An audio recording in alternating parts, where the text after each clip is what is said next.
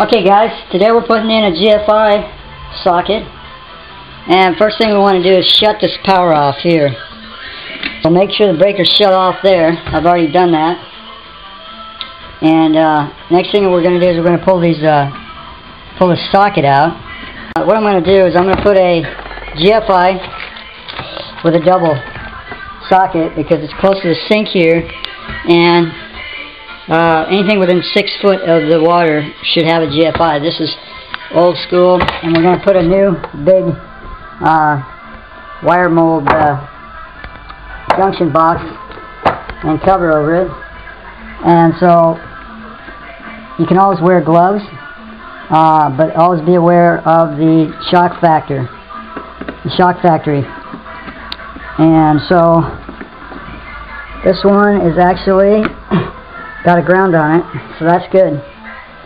So we're going to have to disconnect this, pull this box off, put this box on, put one of these in, and that in. I'll show you. Okay, so we got the old box off, and we're going to put this thing on here. And it's got a little cutout place here on the bottom, and cut out. So that'll go kind of like that. First we need to put the, uh, the base on like that, screw it into the wall, and wire it up. Okay, so here's basically how it's wired up. We wire this up first. This has got the yellow strap, tells you the the line or the load edge.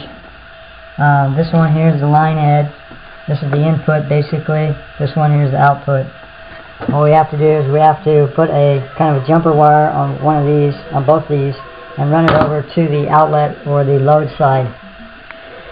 And uh, if you notice, this is the way I put these in this way. So typically what hap what it's saying is if, if, this, if something were to fall on the top of this, say, say this would accidentally fall on the top, it would hit the ground.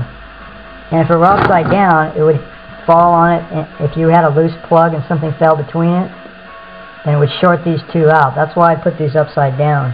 Because if something were to fall on it with a loose plug, it would hit the ground um, that way and then trip that breaker. It would trip the breaker either way, but theoretically, if something fell on the ground, then it would less be less of a hazard than if it fell on both these other ones. So that's the way I put that on.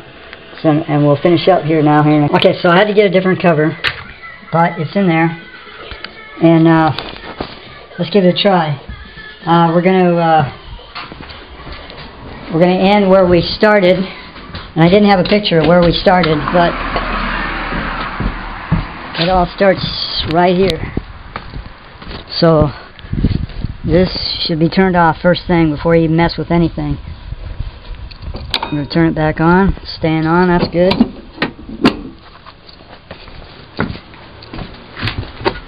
Got some 2 by 4s I'm going to put a rail across there. And here do a test here. So it's on, it's doing its thing. Let's plug the radio and see what happens.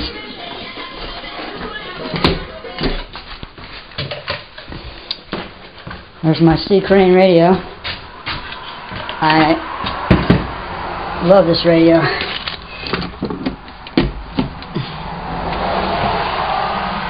Let's see what we got here. Did I? Oh, there it is.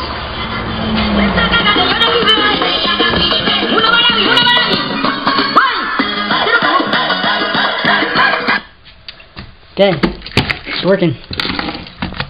Uh, so, you can always check it with a meter to make sure it's off when you turn it off. Wear gloves, even though it's off, practice like it's on. They have these, these are the electrical probes.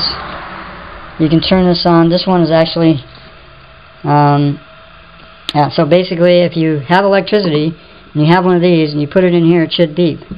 But this one has gone haywire on me. It's brand new. I don't know why it's not working right, but uh, anyway, this is whatever the temperature or the electrical probe. You can buy these at any hardware store.